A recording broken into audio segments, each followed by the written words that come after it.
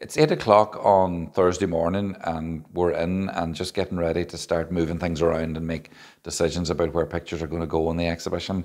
And normally at this stage, we have about four days between now and when we start to hang the exhibition. You'd like to know more or less exactly where everything's going, but we don't have that luxury this year. We do have a very good starting point though.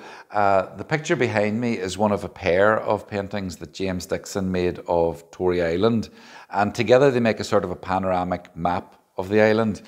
Um, but they're very long, and we only have two walls that they fit on side by side this wall and the one upstairs, so it's not the toughest decision in the world to pick one of them. Last time we showed them upstairs, maybe five years ago, so we're going to go downstairs this time. The Galway Arts Centre exhibited these about 15 years ago, and the curator there hung them very close to the ground so that children could see them. So they were, they were at children's eye levels. And it worked brilliantly. I was really impressed, and I've copied it every chance I've got since.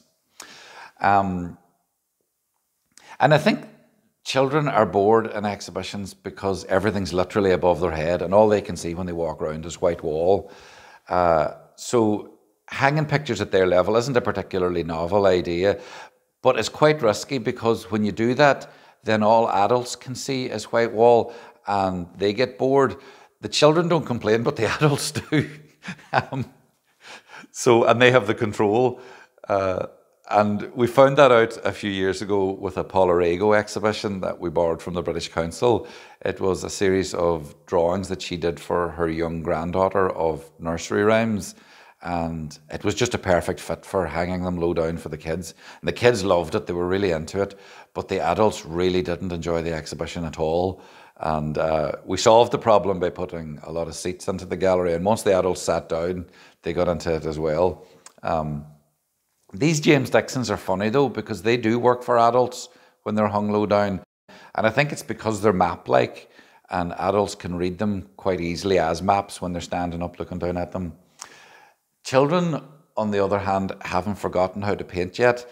Uh, so they're really, they really love this picture and they'll stand in front of it for hours, uh, mesmerized by it.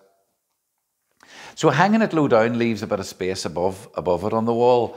And um, what I want to try this time is I want to hang a few other paintings that we have of harbours.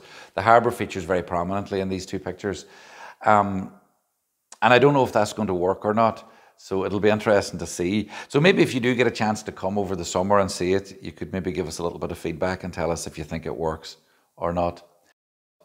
So those are the sort of decisions that we're going to be making over the next uh, three or four days. And we'll check in with you again and let you know how we're getting on.